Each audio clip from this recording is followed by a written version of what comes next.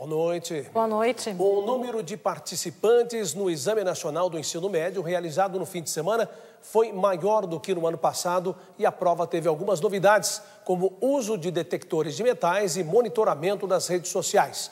O número de ocorrências também foi maior. O último domingo começou mais cedo para alguns estudantes. Muitos foram fazer o Enem e, para não perder a prova, chegaram bem cedo. Aproveitaram o tempo para dar uma lida no material de última hora e para descansar. As filas dos fast foods também estavam maiores. Para quem estava muito apreensivo, valia até um abraço ou uma oração. À medida que o tempo passava, a caminhada de quem estava chegando ficava mais apertada e os passos mais largos. No Distrito Federal, ainda teve greve de ônibus e a carona foi a salvação. Com mais carros, teve engarrafamento. Em todo o país, momentos antes do fechamento dos portões, a correria foi grande.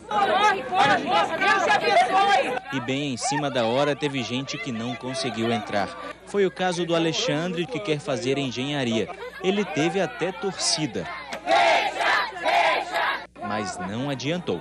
Ele perdeu o segundo dia de prova. Eu tava no outro portão ali, só que ali no o outro portão não abria, tive que dar a volta inteira aqui. Hoje que era o melhor, meu melhor dia, que é matemática e tal.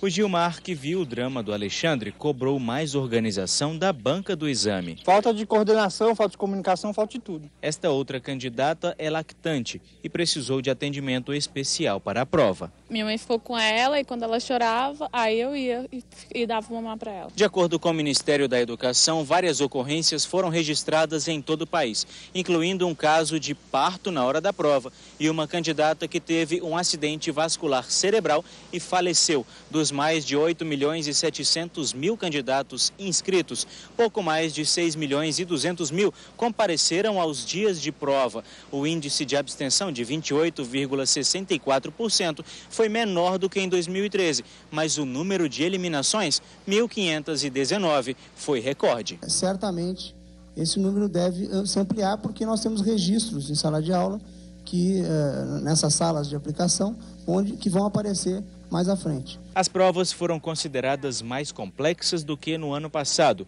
mas os alunos se dividiram. O que eu tenho conteúdo eu consegui fazer normalmente.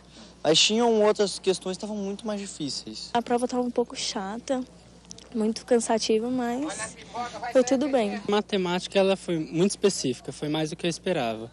Mas em português foi mole. Esta professora de redação acredita que o tema sobre publicidade infantil foi uma boa surpresa. A maioria foi pego de surpresa, porém, ao meu ver, foi um tema bom, porque é um tema mais genérico, é um tema que já vem ocorrendo há alguns anos, não, é, não, é, não faz não, não, está ausente na realidade deles. Já este professor de matemática concorda com os alunos, mas acredita que o perfil da prova continua o mesmo. Prova muito extensa, né? mas em relação ao conteúdo, a resolução de questões, muitas delas eram cálculos pequenos, né? então o aluno ia perder muito tempo na leitura, interpretar.